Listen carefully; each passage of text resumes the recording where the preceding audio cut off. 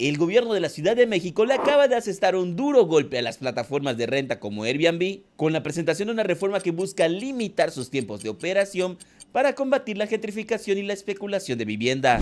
Esta nueva regulación presentada por el jefe de gobierno de la CDMX, Martí Batres, propone dos cambios importantes. Primero, modifica el artículo 61 de la Ley de Turismo para prohibirle a los propietarios de inmuebles Airbnb a darlos en alquiler más del 50% de las noches del año. Es decir, cada cuarto o unidad Airbnb solo podrá ser ocupada 182 noches de manera anual.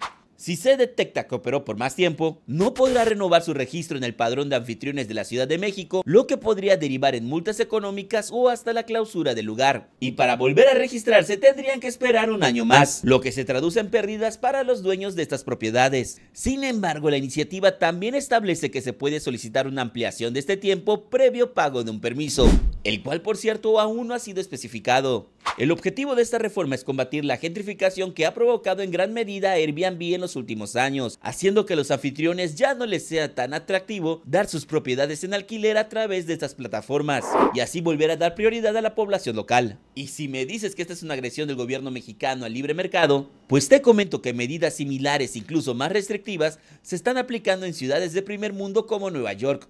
El segundo cambio tiene que ver con la ley de vivienda y la ley de reconstrucción integral de la Ciudad de México, señalando que las casas de carácter popular, social y en arrendamiento público así como las que sean reconstruidas con recursos del gobierno, no podrán ser utilizadas para renta Airbnb. Este punto es vital para el nuevo esquema de viviendas que está promoviendo tanto el gobierno de la CDMX como el Infonavit. Recuerda que en Informado Caribe ya te hemos platicado del programa de vivienda de Martí Batres, a través del cual va a dar departamentos en renta a precios accesibles a jóvenes de entre 18 a 29 años, mientras que el Infonavit anunció la construcción de más de 500 mil casas a bajo costo para los trabajadores que ganen menos de 12 mil pesos mensuales. Con la reforma del jefe de gobierno se asegura que estas propiedades no van a ser acaparadas por empresas o por especuladores para lucrar con ellas dándolas en renta a través de plataformas digitales. Ahora bien, ¿serán suficientes estas reformas para acabar con la especulación de vivienda y la gentrificación en México? En lo personal, lo dudo pero sin duda es un primer paso que era necesario.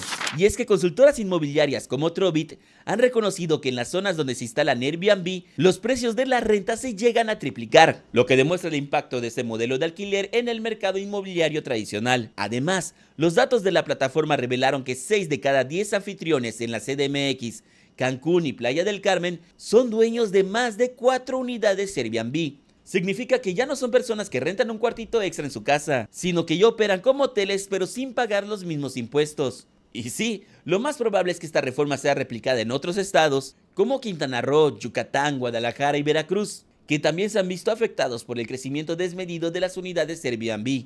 Pero cuéntame, ¿y tú qué opinas?